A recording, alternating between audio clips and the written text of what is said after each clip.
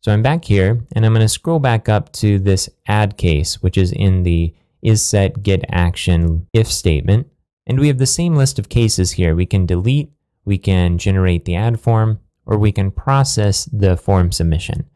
Okay, again, here's where we're starting our errors array, and here's our required validation. And let's look at this first. So the structure that we're going to take for each one of these various validations is we're going to begin with a list of the inputs that need to be validated.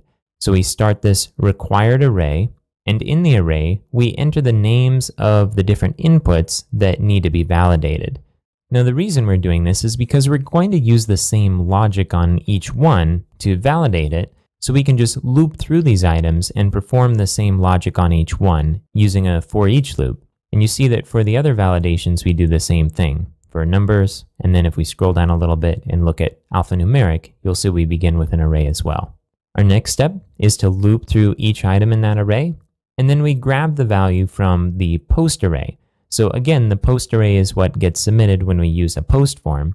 And this input name here is the value of the item in the array. So the first time that this loops through, input name will be the string first, and so we're looking at the first key in the post array. We're also running this through the trim function in order to remove any spaces on either side of the value. Now we're doing this to make sure that the user doesn't input a set of spaces because we don't want to consider those valid either. And if that is happening, we're not going to know the number of spaces that the user entered. So we want to just clean all of that up so we can trim it down to the actual text that gets submitted. If it's just a bunch of spaces, then that will be nothing. And so when we compare it to nothing here, this will return true and we'll add an error that says, please enter a value for, and then this first time around, our input name is first. The next time through this loop, our input name is going to be username. Again, we'll get the post variable for that. We'll trim any extra spaces on the ends. And then if it doesn't exist, that is, it equals an empty string, then we'll add another error that says please enter a value for username. And we'll do the same thing for password. So if we go back to the browser and look at our list of errors, you see that we had two errors that match this. It says please enter a value for first and please enter a value for password. We did enter admin for username, so we're not getting an error there. Okay, I'm going back to the editor here. Now let's look at our numeric validation. So we're going to loop through birth year and shoe size and we're assigning this array to the numbers variable here. And then we're going to loop through each one using for each, just like we did with the required validation.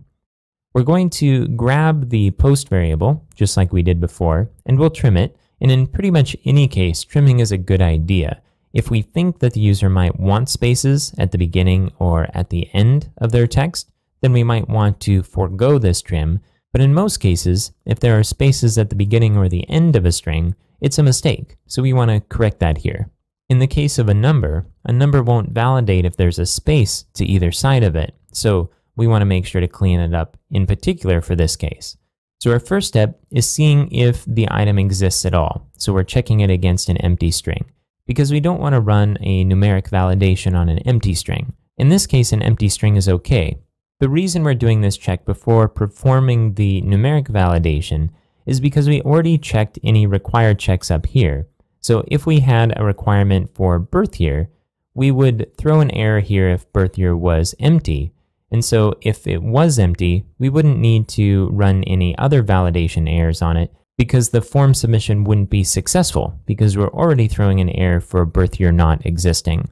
So in some cases, validation on an empty string will throw an error, which we don't want, in other cases, it's just taking up processing power, so we can skip this processing if the string is actually empty.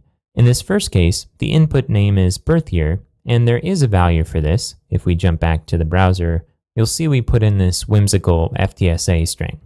If I jump back to the editor here, this will pass because it doesn't equal an empty string, so we'll move on to the next step.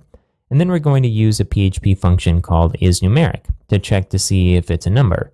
And if it isn't a number, notice we're using the negation operator here, which is the exclamation mark. We're going to add an error that says, please enter a number for input name. Now this isn't perfect because, for example, a birth year should be an integer. And if we're talking about people that were born in the last couple hundred years, there will always be four numbers in that integer. So if someone put 10.4 in this box, then it would pass.